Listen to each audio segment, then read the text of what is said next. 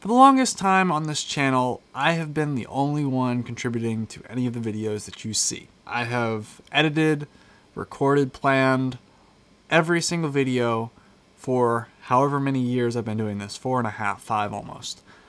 Um, that changes uh, pretty much this month. Uh, I have now three buddies that I've brought on that are now going to be helping with editing on the review channel and then on this channel. Um, and that requires, of course, some hardware to do it. So today, we're going to be taking a look at the new NAS system that was actually sponsored to me by Synology and Seagate. Um, this is something that is quite essential for, I guess, any uh, video production operation, uh, YouTubers especially. Uh, you need the ability to have a central server that acts as a storage device that you can edit off of. Um, and so today we're going to be checking out that, uh, telling you a little bit about the background of stuff that's going on around here. And um, yeah, I'm really excited and um, I've got some good people that are going to be helping out. Um, you might see them in videos um, or they might just be helping editing. Starting out, I need to kind of give you a little bit of background about some of the important parts of video editing. Yes, you need fancy desktops that people can edit off of. Yes, you need, you know, decent bandwidth. You need a wonderful network. Uh, you need to have all these very nice and expensive things uh, that I can be very grateful that Seagate and uh, Synology have both sponsored. Um, it means that I can I'll basically allow for other people to edit while we all work on the same projects. Um, we all can work on the same timelines, um, and especially when there's you know collective group projects or something very important that multiple people are working on, that now is all possible. Whereas beforehand, storing stuff on a local drive on your computer is nice, but it makes it rather difficult to you know share files across everyone, you know across all the guess the editors. With that being said, uh, let's talk a little bit about the new stuff that I have, um, at least for the editors. So I ended up purchasing two old um, Dell machines, Dell workstations, and they're not really old. They're about two or three years old, in fact, um, at a major discount um, from, I guess, we'll just say a yard sale. It was definitely a snag, and these are the machines now that my editors are using. I think they have 64 gigs of RAM and uh, FirePro W7100s. Um, workstation cards are not my first pick, but um, given that they're like $600 on eBay right now, uh, and I paid 400 for the whole system. I think, uh, well, I think I think that's a, a, in anyone's book a pretty good snag. Um, this stuff is rather expensive. I know it may not seem like it, but I don't like spending money. Yeah, this this whole month has been a rather interesting experience because it's taking the channel uh, to a much much farther level than uh, I ever had imagined. We have three computers, my desktop, and then those two extra workstations. Um, and I have three guys that I'm kind of training to edit. These guys aren't going to be editing full time. This is more of a part time thing, and that's why I've got three of my good friends um, kind of helping out so that they can kind of take turns and it's you know more of a laid back thing um, rather than you know being full time. Obviously, I don't have enough content that I put out to be full time. That might be changing shortly though. Four guys total that are trying to edit content in a timely manner, uh, work together. I need to kind of view content uh, access content from different machines. Um, and that means that a NAS is practically a really good option. So a couple things that's kind of important about video editing is that it requires a massive amount of, uh, I guess, bandwidth because you need to be able to read and write to drives, especially when you're editing 4K content, which this channel has been doing almost for three years now. Um, editing 4K content is very bandwidth heavy. It requires high speed drives and high bandwidth. Uh, we're talking 10 gigabit cards uh, pretty much installed on everything on here so that that way multiple people can be working on the same server at the same time and not have any bottlenecks. That's very important. So Seagate has sponsored four of these IronWolf Pro 125 drives, and these are 2 terabytes or 1.92 terabytes. Basically, these drives have a huge amount of data that you can read and write to them. For example, just just out of a you know quick comment here, I've burned through multiple one terabyte SSDs like WD Blues because of the fact that I have um, used them as my, you know, SSD for my camera, and I have burned through them because I've written to them so many times on, you know, the history of this channel that I have literally caused, you know, permanent damage to the drives, and they're unusable. They stop recording. Um, so I set out and I went through, and we got a whole bunch of these, um, and Seagate sponsored four of them, which I greatly appreciate.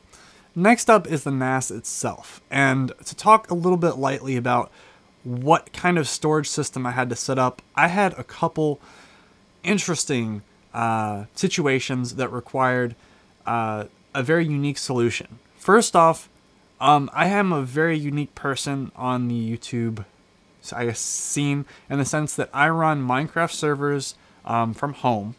Uh, I have all of that done in my house. And so that means that I need to have a safe place to store large amounts of world backups and file data uh, in a safe place that these machines can access, you know, obviously pull stuff from, and save the backups too. Um, as much as you guys like to make comments about the fact that I have computers and I've sold all my organs, um, which I may or may not have, uh, these are Minecraft servers and they actually do stuff. Um, I don't just sit them. I mean, they look nice. I mean, if you're gonna have it stuff doing something, make it look nice. It's in your room.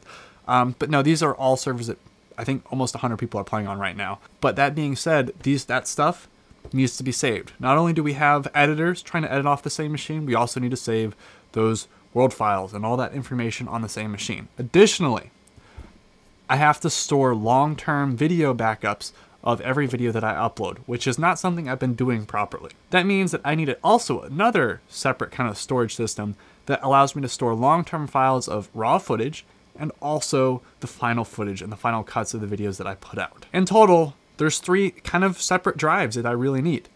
And so what Synology has given me, which I should probably check, is a Synology DS1621XS Plus, which all of those words basically translates to a storage server that has six total drive slots and two SSD or M.2 cache drives, as well as the ability to upgrade up to 32 gigs of RAM. What does that mean? Well, you've got six slots to fill with whatever you'd like. I ended up filling all six of those with these Seagate IronWolf drives, which means that I have a usable editing server size. I have a usable server size of about 5.2 terabytes. That means that all three of us, or all four of us, whoever's editing at the time, um, have access to a collective storage, uh, I guess, drive that we all can work on and edit off of at the same time. It's pretty fast. I get about a gig and a half worth of speed uh, in and off of it right when I'm um, just editing off of it. And then I have multiple people working on it at the same time, and we haven't had any bottlenecks so far, which means that this is a very valid solution and actually works really nicely for what we're doing here. Meanwhile, the question remains though about the Minecraft servers and these long-term backups because let's be honest, 5.2 terabytes is not a lot of space when it comes to storing Minecraft files that you've had around for 8 years. Some of these files almost about a half a terabyte to three fourths of a terabyte for just a single Minecraft world. Now, I know that seems kind of crazy because a lot of people talk about like 2B2T and stuff, but I've had a Minecraft world running continuously on the same world for almost, well, eight years now. And um, actually, it's almost nine. And that means that the world file has gotten quite large. So backups are also quite large. So in order to accommodate this, I've also purchased, used, by the way, because I'm a cheap boy, um, purchased two additional expansion drives. One that's a little bit slower than the other, which was also cheaper, um, just because you don't really need high speed when you're storing large amounts of files, especially world backups. Not to mention, I also purchased a bunch of drives, somewhat used. Um, obviously, when they're used, I think I purchased in total, there are about 20 terabyte usable storage on each of them, um, and RAID, I believe, 5 or 10. Um, so I end up with about 40 terabytes of large um, long-term storage. Now, all this in total probably cost me less around a grand, maybe a grand and a half. Um, I don't like talking about finances on the channel, um, but I feel like with obviously with the sponsorship I paid, ended up paying a grand and a half. Um, I have no idea what this all is worth. I don't like talking about finances and stuff on the channel, um, but I also think that being open about what's going on, especially in the background, um, where the ad revenue from which you guys spend, you know, your time, your you the ads that you watch, if you watch, if you're an ad blocker dude, I am too, so I can't really judge. Um, but I would like to at least include you in on that, and that is where the ad revenue is going. So now I want to take a look and show you guys, kind of showcase what the process is like now, what this actually is capable of, what the drives are capable of that Seagate sponsored, and uh, show you a little bit about kind of what goes on in the editing process. Beforehand, I was editing just by myself, obviously, and that was off of the singular raw drive. Um, this was a it's a RAID zero, which means that um, if something happens, I'm up a creek, something happens to this drive, which luckily never, nothing ever did. Uh, I think it's four WD black drives, so I get speeds about 3,000 uh, gigabytes per second. Um, which is more than enough for what I need. I basically, long story short, previously in 2018, I used just a simple 4 terabyte long term storage drive. Uh, and then recently, I uh, got one of these Drobos, which is like an it's like a one from 2012 or something. It's an eight bay one, but um, it doesn't really actually truly have. Um, I think it only has like sorry, it only has like probably like eight or nine terabytes, and it's rather close to actually being filled up.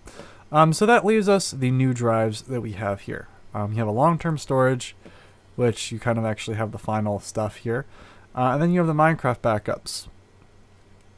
So you have pretty much everything in there. Um, and these are just server backups um, from that previously. So as you can see, it's not actually filled up surprisingly. Actually, we've gone through the editing drive uh, already halfway full, and um, we've just been doing this for like less than like a week. Um, so obviously the editing drive is uh, a different story, but for the most part, um, making good use of um, that drive right there so far. So the long-term storage is for final videos and things like that. And so 20, 21 terabytes each, both of usable storage, and then the 5.0. Additionally, I have 4 terabytes worth of cache that is collectively spread out about here, and also um, I've upgraded the RAM on here since multiple people are using this. So let's show you kind of what looks like when we edit it from Premiere. So here we are. This is a um, like review, and this is going on the review channel. In case you didn't know, we actually started up a separate review channel so that way um, we can focus on giving you guys more content. I know you haven't seen it recently, um, but uh, or seen any change in content recently.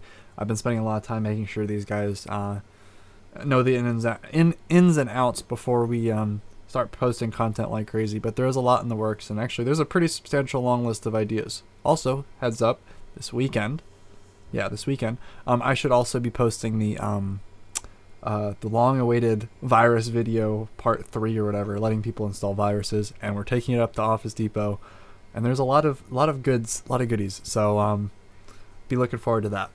Um, but for the most part, this is what you're looking at. Actually, let me get Task Manager up real quick.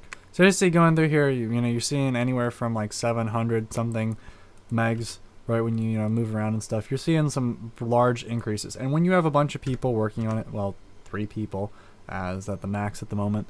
Um, you're going to have roughly, what is that, 600 times 3, um, 18 or 1.8 gigs worth of, you know, just reads from this drive, which that's what, you know, having SSDs does. However, my only complaint um, in this entire situation, this entire setup, is that when you have three people or people are, you know, three people are working off the drive and then you're also writing like, you know, footage that you've just recorded to the drive, um, sometimes the drive, uh, the fans just crank up obnoxiously loud all of a sudden, um, which I understand stuff has to stay cool, um, but having this in the same room that you know you record videos in and people are going to town recordings, you know, I'm recording something while people are editing, and then just uh, completely obliterates the audio on the um, the camera or on the video that I was recording is is one minor downside, I guess I would say. So overall, in conclusion, what does that actually mean for the channel going forward? Well, first off, if you haven't seen the new review channel or subscribed to that, uh, it helps us out at least when you subscribe. Um, that would be a place that you'll see all the reviews now, and uh, you might see a few more on the main channel as we kind of finish up with what uh, you know some prior commitments. Um, but for the most part, everything will be kind of review related. Will be going over there. Uh, this channel will be kind of following more in the direction it's been heading in a long time um, and that is to kind of continue on with more of the crazy, creative, weird things that uh, I come up with.